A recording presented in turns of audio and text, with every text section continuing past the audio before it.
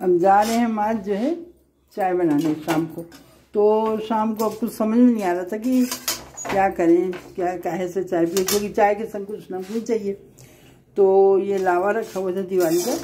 तो इसको हमने क्या किया है, नमक और काली मिर्च और थोड़ा सा रिफाइन डाल के सरसों के तेल में, क्योंकि लावा नहीं अच्छा लगता, लाई। इसको बहुत लोग खीर भी कहते हैं।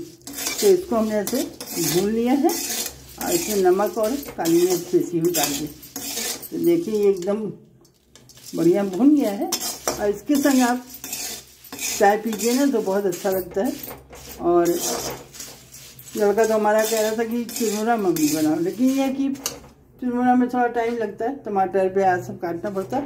और इसको हमने सिंपल भून लिया है, लावे का यूज़ भी हो गया। ये दिवाली का रखा हुआ है।